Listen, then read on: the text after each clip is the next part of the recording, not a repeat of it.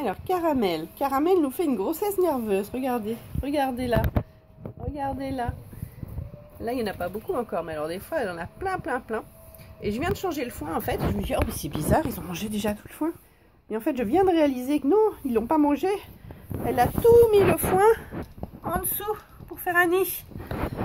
Donc voilà, mais vous inquiétez pas, elle n'est pas enceinte, hein. c'est qu'elle croit juste être enceinte comme il y a plein d'autres lapins à côté.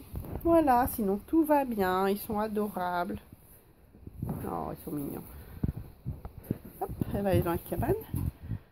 Alors, tu vas mettre le foin dans la cabane? Un caramel? Elle ramasse.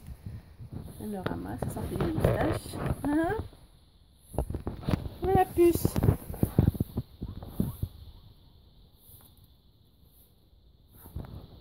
Dans la neige, il mange.